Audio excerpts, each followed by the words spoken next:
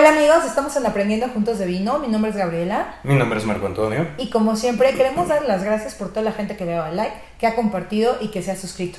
Ya tenemos más de 2.300 seguidores en Facebook. Muchísimas gracias. Muchísimas gracias. Hoy Gaby, vamos a hablar acerca de una uva que nos han pedido mucho y que es la tempranillo. Así es. Y bueno, pues esta uva es una uva tinta, es la cuarta más plantada a nivel mundial y es la uva más importante en España.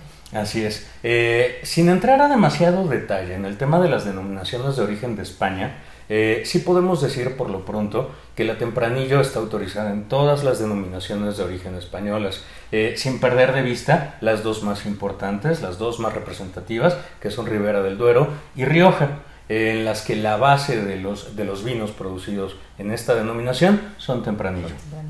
Y bien, bueno, pues vamos a encontrar tanto vinos como monovarietales, como vinos de mezcla, vinos blends, elaborados con uva principal, que es la tempranillo, y combinados con algunas otras, como pudiera ser la garnacha, Mazuelo, Graciano, Merlot y entre otras, ¿no? Entre muchas otras, ¿no? Efectivamente. Eh, que por ejemplo, ahorita que mencionaste la Mazuelo, Gaby, es importante mencionar que se le conoce a la Mazuelo de diferentes formas. Se le conoce como Cariñán, se le conoce también como Cariñena en algunos otros lugares, ¿no?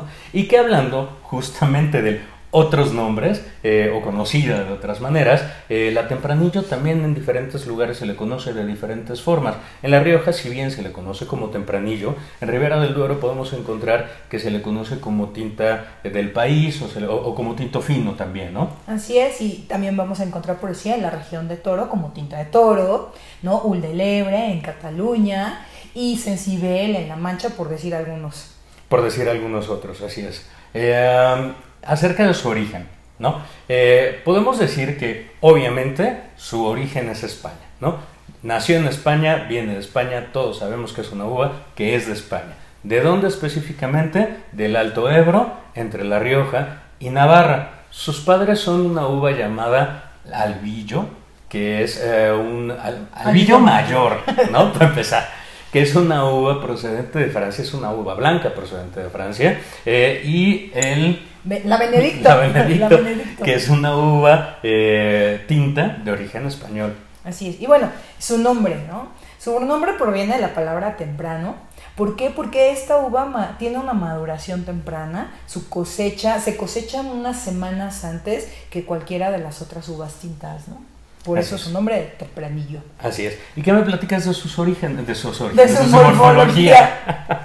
bueno, pues en cuanto a su morfología, esta uva produce racimos grandes, su fruto es de mediano a grande, son compactos, son esféricos, su piel es de color negro azulado, su piel es gruesa, es sensible a las plagas, es sensible a la sequía, es sensible a las altas temperaturas. De hecho, su ambiente idóneo en el que, en el que se adapta muy bien, en el que crece muy bien, pues son los climas frescos.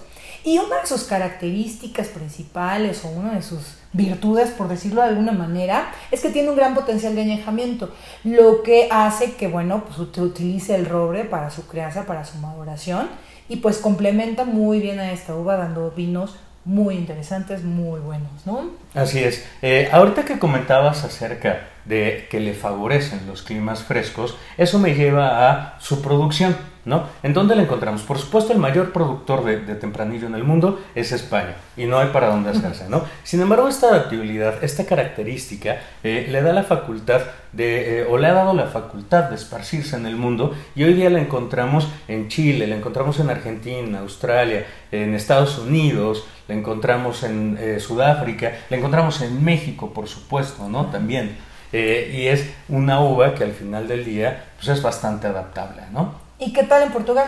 Por ejemplo, también, Por ejemplo, nada más que en Portugal se llama diferente, no se llama tempranillo, en Portugal la conocen como aragonés o tinta roriz, ¿no? Y de hecho la utilizan de mezcla con otras uvas para elaborar el oporto, ¿no? Así es. ¿Y qué me platicas acerca de su intensidad y sus colores, Galo? Bueno, esta uva da, da vinos con, con un color rojo rubí, cuya intensidad es de media a alta. De hecho, este vino en especial, su intensidad es alta, ¿no?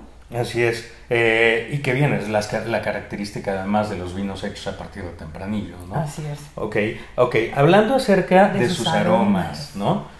de sus aromas, podemos encontrar que el tempranillo, los vinos hechos a partir del tempranillo, generalmente tienen un perfil frutal. Vamos a encontrar desde frutos rojos hasta frutos negros y que en estos grupos podemos identificar fresa, eh, cereza, ciruela, frambuesa, zarzamora. Podemos encontrar también, además de esto, especias, podemos encontrar eh, también eh, algunos aromas procedentes de la barrica. Como ya lo mencionó Gaby hace un momento, es una uva que se le suele dar crianza a los vinos que vienen de esta uva, ¿no? Entonces vamos a encontrar con frecuencia aromas como madera, cuero, tabaco, chocolate, entre todos aquellos aromas, vainilla, entre todos aquellos aromas que nos da la barrica, ¿no? Así es. Y bueno, en cuanto al maridaje, ¿no? Sí les recomendamos que lo marinen con alimentos, pero pudieran ser una botana, ¿no? Pudieran ser a lo mejor algo como, como aperitivo, como unas tapas, eh, unos embutidos, quesos suaves, pero si quieren ya maridarlo con alimentos un poquito más complejos, con platillos un poquito más complejos, pues les podemos recomendar una pasta o podemos recomendarles platillos elaborados con carne pero que no sean platillos muy condimentados ni que sean platillos muy ligeros, ¿no? Es decir, no utilicen un pescado o a lo mejor no utilicen una ensalada, ¿no? Sino algo punto medio. Un punto medio, punto medio para que no haya pierde. Así es. Que también lo podemos tomar sin maridaje, ¿no? lo podemos tomar solito eh, porque se presta a eso. Así es. Tal vez con un chocolate. Ándale, ¿no? También podría chocolate, ser. Podría chocolate. Pero bueno, pues por mi parte es todo. Por la mía también. Espero que les haya gustado y pues no se les olvide darle like, compartir y suscribirse. Muchísimas gracias. Muchas gracias. Salud. Salud.